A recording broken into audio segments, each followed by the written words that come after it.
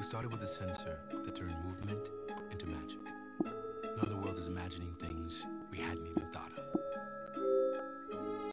Unexpected things. Helpful things. Inspired things. Which is why, when the world asks what's next for Kinect, we ask the world the same thing.